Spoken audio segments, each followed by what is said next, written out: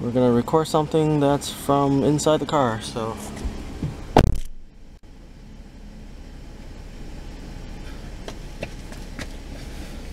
All right.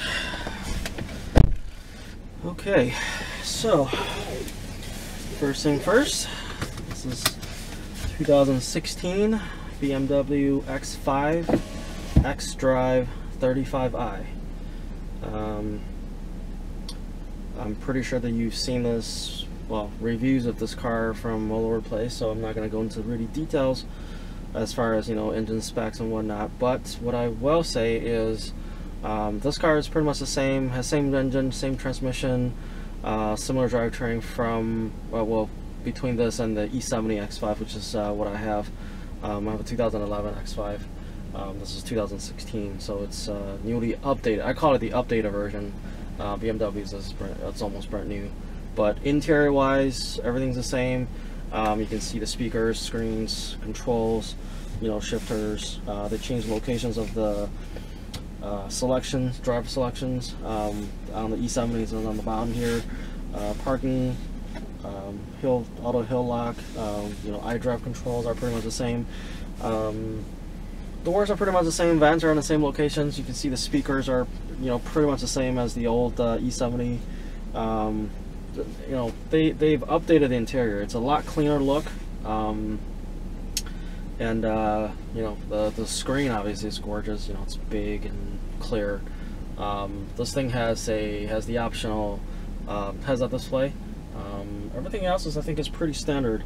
Um, there's a couple things that I like about this car.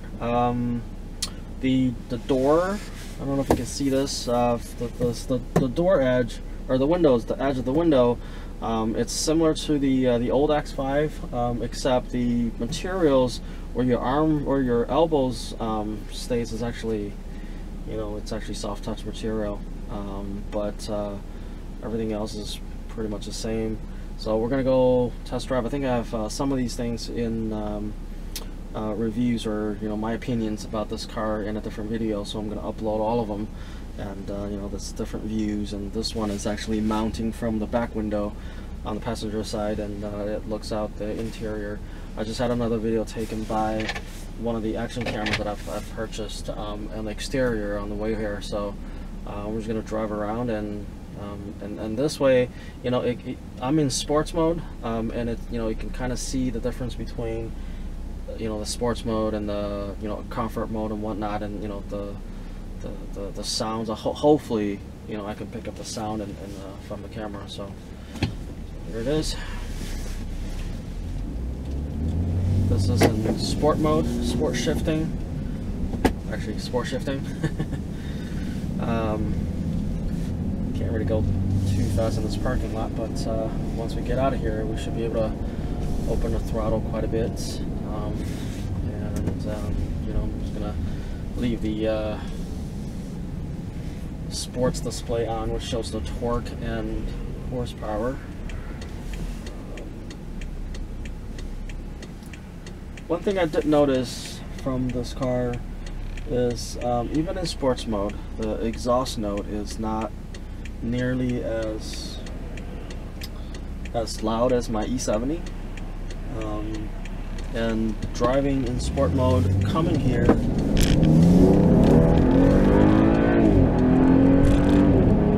uh, um, well the, the, the, rev, the revs tend to stay high. Um, so you know that's pretty similar to what E70 does when it's when you put in sports mode. Um, you know, like I said, the transmission and engines are pretty much the same as E70, 35i. They're both, uh, know, three liter turbo, twin scroll single turbocharged. Um, you know, the, the, the, the difference, I think, even in sports mode, um, in the new e, uh, new X5, um, I think it doesn't have quite the same same feel to it when you accelerate. Um, it doesn't have that kick um, I mean, it, accelerates pretty hard, but um, for some reason it doesn't feel like it.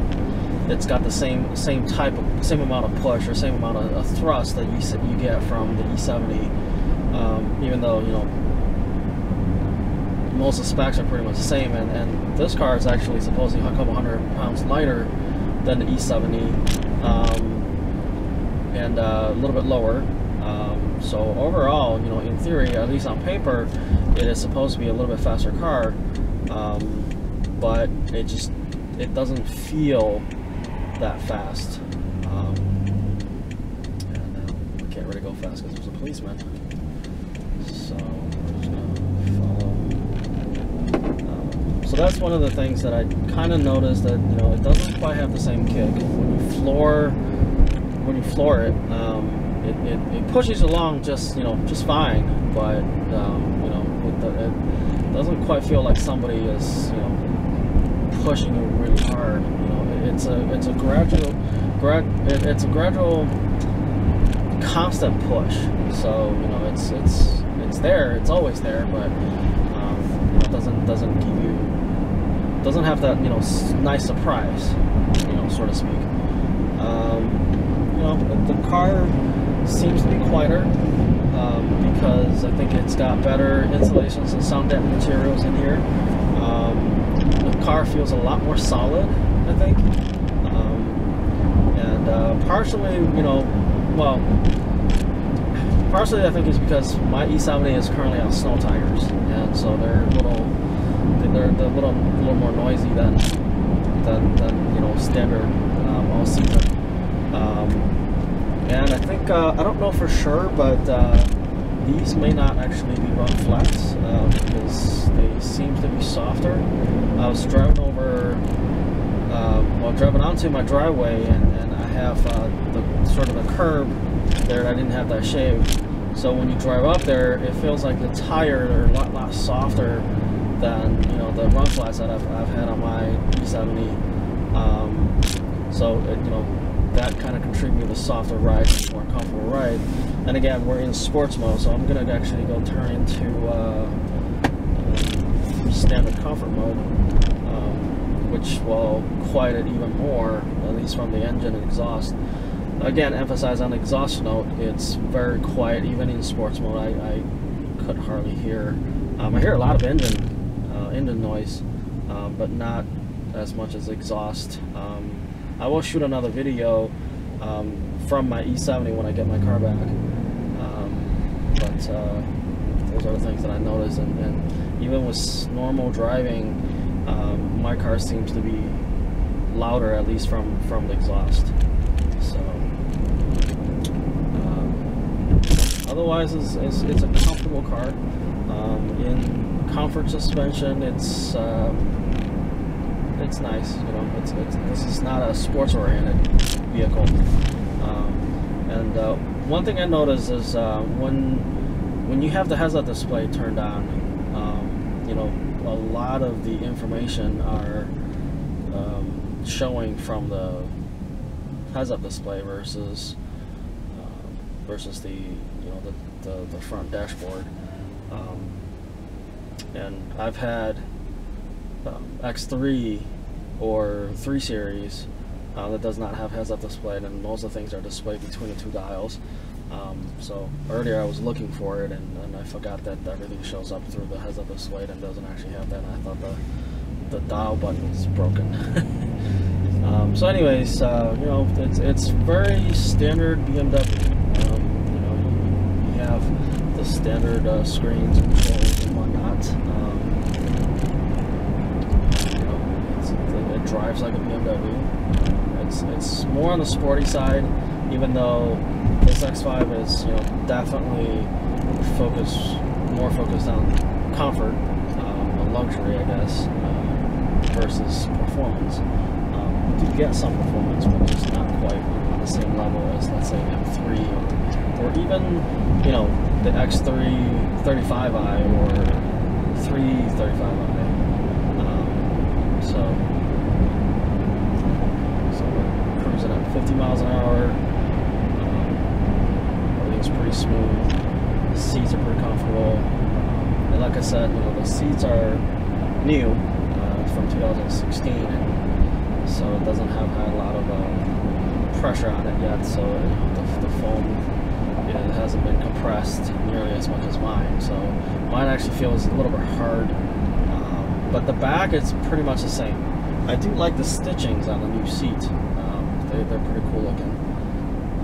Um, otherwise, you know, I, I consider this car as you know pretty much an upgrade or update from from mine interior and exterior wise. And um, quite frankly I think the E70 um, in certain aspects is actually better looking than the uh, than, this one. Um, but there are a lot of people that you know, likes this one better than the older. Um, and if I have one you know I, I think the look newer look is um, it's grown on me um, I'm starting to like them a little bit more than, than when I first initially saw them, but I, I, I still prefer the look from you know the, the E70. Um, it just it just it just seems more muscular to me, and it's simpler. Um, there's less less unnecessary uh, curves or whatever um, on the E70. It's mostly all straight line, and, and, and if you look at follow the lines, a lot of them actually they go around and they connect each other, and it just flows much better. Um, this is more modern, obviously. Um, interior of the car, um, I noticed the difference between this and mine is that because the roof lines, especially towards the back, are a lot lower, they're a lot, uh, a lot more, you know, sporty look. So um, it, it, feels there's less headroom here, um, especially in the back. Uh, the, the, pillars are a lot thicker and a lot lower, um, so it seems like the corner glasses are a little bit smaller. Um, I don't know for sure, but it feels like the windows are a little bit smaller as well. I have to get some measurements um, from mine when I get my back. Um, but it feels like the window, the glass, the, you know, the, the, the, window portion is a little bit shorter than the E70. Um, but overall, it's not that bad. Um, when I first saw this car, I actually thought that was an X3 um, you know that's that's kind of saying two things. One is that the X5 is getting a little bit smaller. Um, well, not actually smaller, but in, it's actually lower to the ground. It's got a little bit less ground clearance, um, and also saying that the X3 has gotten a lot bigger. Um, there's only like a couple, a few inches in length and size. So